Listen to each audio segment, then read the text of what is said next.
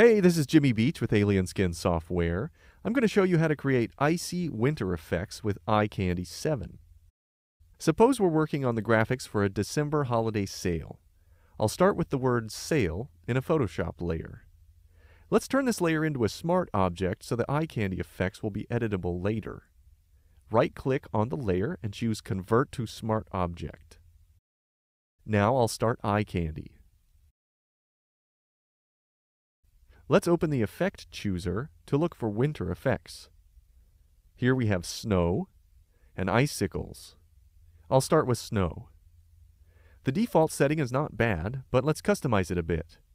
I'll decrease drift height. That's the most important control. I'm going to change the background color to make the effect more clear. Now let's increase the snowy dust on the front of the letters with the Dust on All Features slider. I think that looks pretty good, so I'll click OK. Now let's add icicles. I'll press Command Option F or Control Alt F to bring up eye candy and make changes.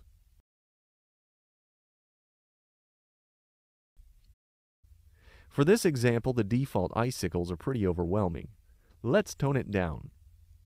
I'll decrease the length and width to make the icicles smaller. Now let's get rid of some of the icicles by decreasing the density. I'm going to remove some of the ice creeping up the letters with the Ice Height slider.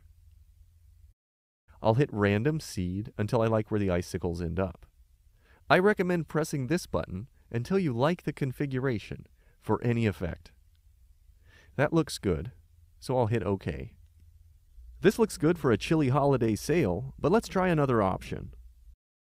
I want to make a variation with letters that are transparent. I'll start in an empty layer. To show eye candy the shape, I need a selection. To get the selection, I'll Command or Control click on my original text layer in the Layers panel. I'll start with icicles. This is the same setting as last time, but now I'll bring the ice height all the way up. I'll hit OK to apply it. Now I'll add snow with the same settings as last time.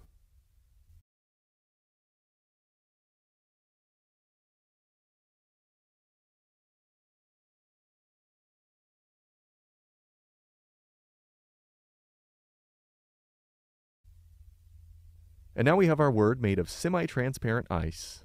All done. That's all for the winter holiday video. Thanks for tuning in. This is Jimmy Beech. I'll see you next time.